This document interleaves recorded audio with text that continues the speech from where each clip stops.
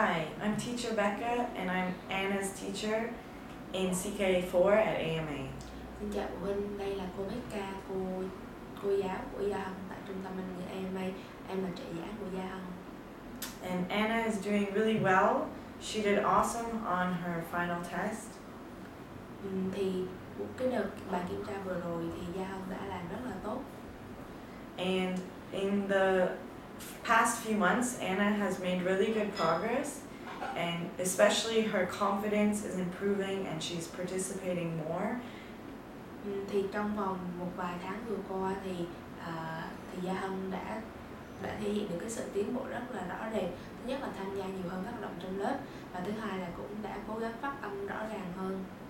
And so with this also her her vocabulary and her pronunciation has become clearer Thì à, cái từ vựng cũng như là cái phát âm của Gia Hân cũng trở nên ngày càng rõ hơn. So I just hope to see this continue, and uh, she's doing a great job. So just keep up the good work.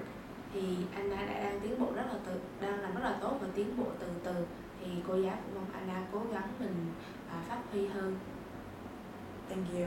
cảm ơn